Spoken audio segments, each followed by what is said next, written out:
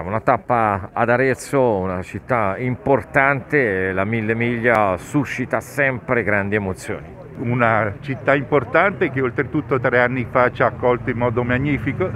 Quest'anno ci permette anche di fare un controllo orario in Piazza Grande e quindi sarà ancora di più un palcoscenico per i nostri 400 equipaggi di auto storiche anticipato da 110 Ferrari. Abbiamo anche un gruppo di auto elettriche e una ventina di modelli unici che faranno da corollario a questo museo viaggiante. Dopo tre anni torna la Mille Miglia, la, quella che viene definita la corsa più bella del mondo. Per Arezzo è un'ottima opportunità di, di, di, promozione, chiaramente, perché solo, solo considerando i membri dell'equipaggio arriveranno in città circa 800-900 persone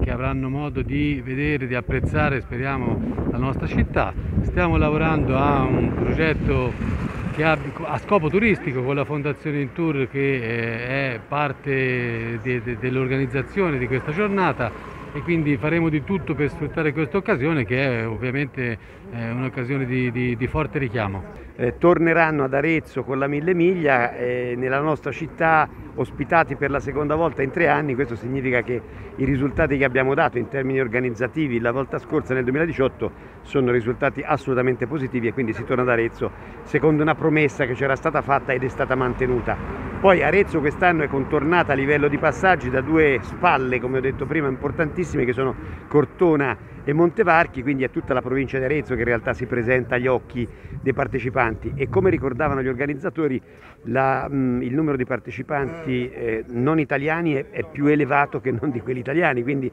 questo è anche un grandissimo vettore pubblicitario per la nostra bellissima città.